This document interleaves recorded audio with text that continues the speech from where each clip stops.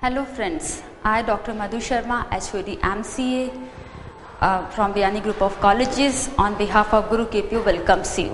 Today I am going to deliver lecture on analysis of problem characteristics. We can see before applying a particular method or technique to solve a problem, we need to analyze a problem keenly. There are few key dimensions on the basis of that we need to analyze a problem before applying a particular method. Especially for uh, solving hard problems, we need to find which heuristic search technique is best or appropriate to solve that problem. We can see here the few key dimensions uh, on the basis of uh, those we can decide that which method is appropriate.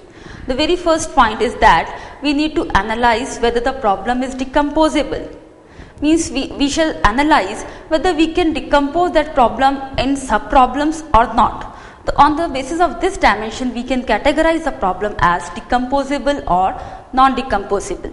Second key dimension is that uh, can solution steps be ignored? Means while solving a problem is it possible that we can ignore few of the steps or the steps are really very important or backtracking is possible. So on the basis of this key dimension, we can categorize the problem in three categories. On the basis of this, we can categorize the problem into ignorable, recoverable and irrecoverable. In case of ignorable problems or solution, uh, we can ignore few of the steps if possible. Means those steps are not so much important during the problem solution. In case of recoverable kind of problems, we can have the facility of backtracking. Whenever we feel that the previous already executed steps are need to be backtracked, then we can do that. In case of irrecoverable problems, we, we don't have the facility to go for backtracking. So we need to plan it very carefully. The solution has to be planned very carefully before solving it.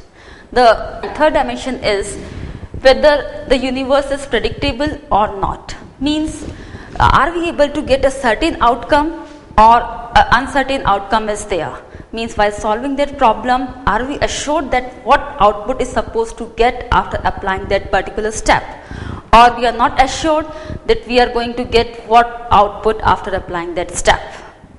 Next we can have the next dimension as is a good solution absolute or relative means we can find the solution uh, we can have a, an optimum solution or we are concerned with the best solution.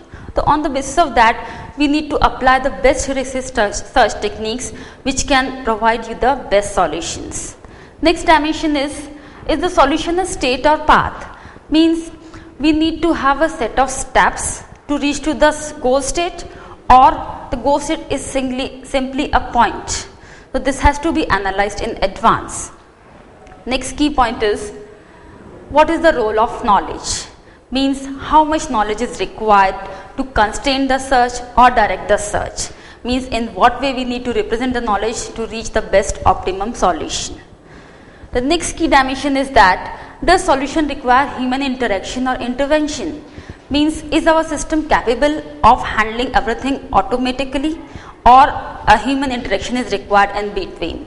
means on the basis of that we can categorize the problem solution into two categories that is solitary or conversational. In solitary we don't need any human interaction and in conversational we need an human interaction.